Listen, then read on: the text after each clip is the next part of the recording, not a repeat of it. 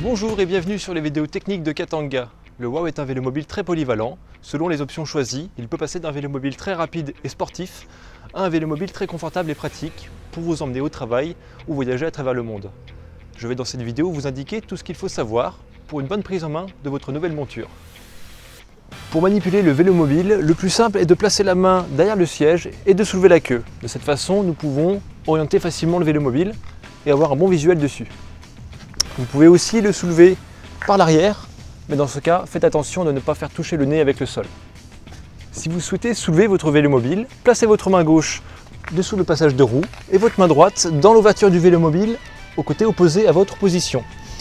Vous basculez contre votre jambe et soulevez le vélo mobile. C'est simple, non? Entrons maintenant dans le vélo mobile. Pour cela, placez-vous par exemple côté droit. Placez votre main gauche sur le côté opposé à votre position.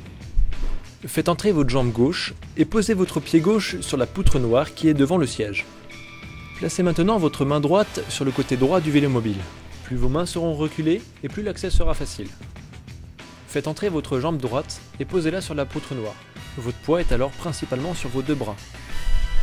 Descendez doucement tout en faisant avancer vos pieds. Laissez-vous ensuite glisser jusqu'en bas du siège et faites entrer vos épaules une après l'autre. Pour ressortir, commencez par libérer vos deux bras. Remontez vos fesses vers le haut du siège et reculez vos mains vers l'arrière. Placez vos pieds sur la poutre noire, sortez votre pied droit hors du vélo mobile, basculez en avant et sortez la deuxième jambe.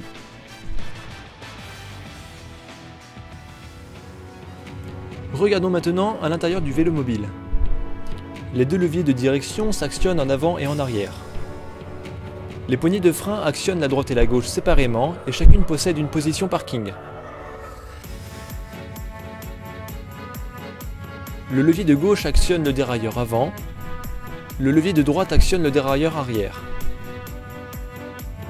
Si vous avez choisi l'option avec moyen roll-off, sa commande est une poignée tournante côté droit. On peut voir sur la poignée gauche trois interrupteurs, le phare avant, le clignotant et le klaxon. Au-dessus du passage de roue, on trouve un boîtier électrique avec trois interrupteurs. Le premier allume ou coupe l'alimentation générale. Le deuxième permet d'activer ou de désactiver l'éclairage sur les rétroviseurs. Le troisième active l'éclairage en mode fixe ou clignotant. La batterie est placée à droite au-dessus du passage de roue. Elle se charge avec un chargeur fourni. Pour cela, débranchez-la et retirez-la.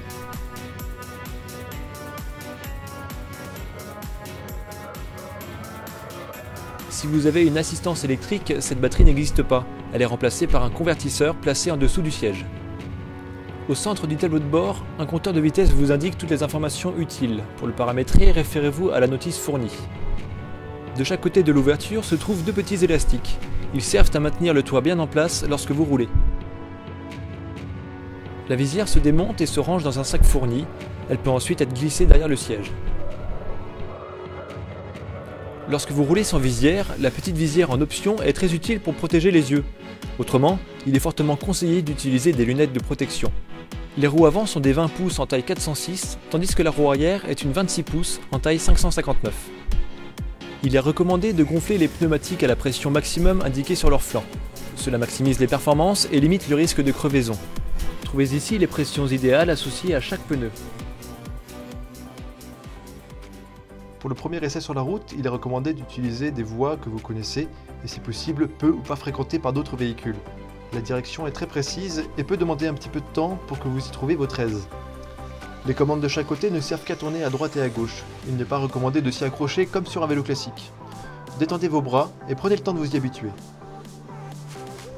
Parlons maintenant sécurité. En vélo mobile, la sécurité est d'abord assurée par son utilisateur lui-même. Il peut vite prendre de la vitesse, même dans les petites descentes. Alors soyez vigilants pour ne pas avoir de mauvaises surprises. Les freins droite et gauche sont séparés, cela est un peu déroutant au début, mais vous verrez qu'avec l'habitude, cela est très utile pour contrôler le mobile dans les virages. Votre mobile possède des rétroviseurs, utilisez-les car le danger vient souvent de derrière. Soyez attentifs, mettez-vous à la place des autres véhicules et anticipez les situations.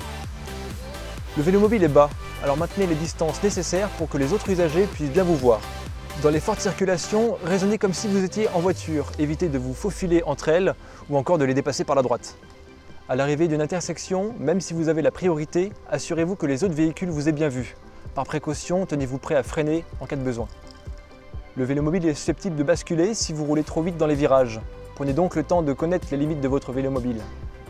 Gardez en tête qu'il vaut mieux freiner fort avant le virage et passer le virage en freinant peu. Sous la pluie, n'oubliez pas que vous n'êtes qu'un vélo. Les pneumatiques peuvent déraper plus facilement que ceux d'une voiture. N'hésitez donc pas à faire des essais de freinage sur route mouillée pour mieux vous en rendre compte. Et dernier conseil, sachez que les accidents n'arrivent quasiment jamais lors des premiers kilomètres, mais plutôt lorsque le pilote commence à connaître sa machine et qu'il devient un petit peu trop confiant. Alors roulez intelligemment, vous allez encore découvrir beaucoup de choses au fil du temps. Quant à moi, je vous souhaite donc beaucoup de plaisir et de merveilleuses rencontres à bord de votre vélo mobile. Waouh Ciao